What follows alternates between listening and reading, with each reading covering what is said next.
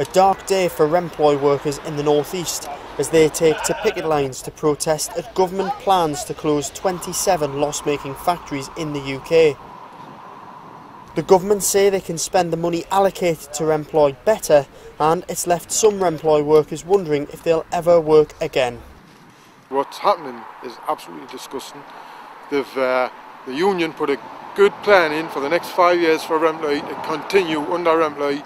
It's for disabled people. They'll never ever, I'm not bothered what people say, they'll never ever get a job anywhere else. They'll never be looked after like they are in here. And the companies just shafted with, and the government and the DWP, for want of a better word. With the Ashington site one of the 27 expected to close, those affected have been encouraged by the support they've had from the public.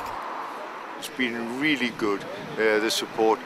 Uh, actually, I was surprised myself to see the support we're getting. We're fighting for our factories to stop open, right?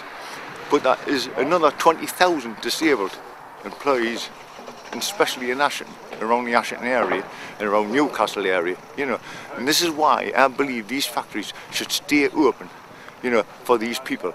You know, there'll always be disabled people. Some, some will never get a meal again. They come here, it's like home from home, they come in, any meal of the day they get here. We've got to go here, they get fed here, they might not feed themselves at home. The, the canteen staff, Rosie, she gives them a meal go anyway at night, like whatever's left, sandwich or something, because they can't look after themselves. They would never get a job. I may be alright. Uh, somebody might say me, oh, that's not my way, I'll give him a job. Fair dues. But there's people out there, they'll never ever work again. Chris Conway, News Post Leader TV, Ashington.